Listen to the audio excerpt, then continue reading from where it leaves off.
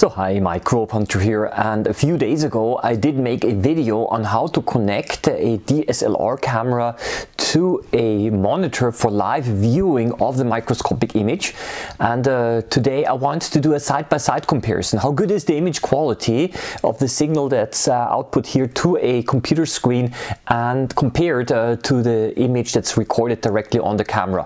Now I know the comparison is a little bit, yeah, maybe not quite as fair because uh, the monitor itself also only has a limited resolution, therefore the image quality also suffers because of that. But still, I think it's an interesting uh, experiment. And uh, as a matter of fact, uh, it was one of my viewers uh, that recommended or requested to have me make such a side-by-side -side comparison. So what I'm going to do now is, is I'm going to show you first how I set up the system, how to um, how I recorded the image from the monitor, and then I'm going to show you a side-by-side -side comparison. So this here is the setup. I put uh, my DSLR camera on a small tripod in front of the computer screen to directly record uh, record what you can see here. It's Closterium, by the way. That's uh, that's an algae, and uh, it's connected directly over HDMI. Here, this is from my camera, which is mounted on top of the microscope, and it goes directly uh, into the computer screen. So there is no computer um, in, in between here, and this is the image which is recorded directly by the camera. So this is not from the screen, but this is actually the high resolution image. Um, I've got a 4K camera, um, and I'm recording therefore a very high resolution resolution image. I think uh, it's uh, the pretty much one of the best image qualities that you can now theoretically get 4K. Yeah? And now this here is the image uh, as recorded uh, from the computer screen. And uh, we see that the contrast is a little bit lower. Um, also some of the details are missing and there is this interest yeah, gradient. So the top left corner is a little bit darker. Um, it's interesting because I could not see this on the monitor, but uh, when I was recording it, um, it got a little bit darker. Here, this is a side-by-side -side comparison. On the left side is the image as recorded by the camera, and on the right side, uh, the one on the computer screen. And if you look very carefully um, on the computer screen one on the right side, you might even be able to see the pixels of the monitor. And uh, I think this is also a limiting factor here that further reduces the image quality a little bit. Yeah, here it's not a full image. Uh, and uh, even though I think the image quality is, uh, is still okay. I mean, it's a very useful one.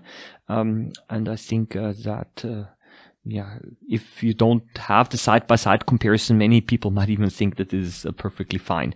Um, but if you already know what to expect, then of course uh, it's not uh, not good enough here because this one is of course uh, significantly more crisp um, as an image, and also the contrast is higher. Mm? So there is uh, really a, there is a significant difference here. Um, but then on the other hand, I think it could have been worse uh, a little bit. Now it is of course also possible to, to directly connect the camera to a computer, and this, however, does have a few disadvantages, which I'm just going to talk about right now. So from now on, I'm going to switch back and forth. Uh, and uh, yeah, so this is again is from the computer screen.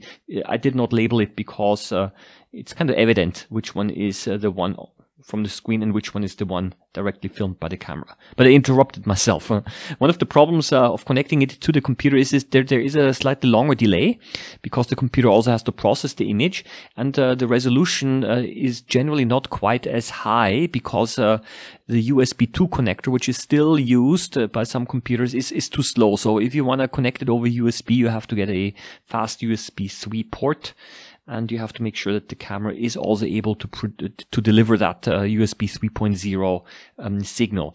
It's only not only a question of resolution, but also of frame rate. Um, so I did not have very good experiences of recording a video directly on the computer um, over USB. Um, in that sense, I think that the solution that I have right now is to live view it on the on the screen and then record it over the camera is, I think, the, the way to go. And focusing is also possible um, on the screen, and then you can do all of the uh, composition work uh, and uh, things on the computer screen, and then you know exactly how the image is going to look like uh, uh, later on when you actually also press the record button. So that's that's a real convenience convenient uh, here. And I already mentioned in a previous video that you have to be a little bit careful when you get the camera that you are make sure that the image that is produced by the camera, the HDMI signal, actually is of a high resolution and does not include any unnecessary data because sometimes the camera produces an HDMI signal uh, with all of the menus and all of the additional information as displayed on the camera uh, screen, which is actually not necessary. It's called clean HDMI if you only get a pure HDMI signal, which you can also later on process. Yeah, I'm switching back and forth here. A whole bunch of ciliates uh, were floating around here. And uh, if you just look at the cilia, the little hair, you can see them here quite well. But they're a little bit more difficult to see, if at all, um, on the video which I recorded directly from the computer monitor. so there is a difference, but I think maybe the difference is not quite as large as one might expect. So that's it. I uh, hope it was informative. Uh, I think uh, the image quality that is delivered uh, from uh, the camera directly to the screen is quite quite good actually, um, at least in the camera that I used. Uh, so if you want to try something similar, then I recommend that you also check the specifications of the camera a little bit on the quality of the HDMI signal that is delivered. Happy microbe hunting as always and see you around next time. Bye bye.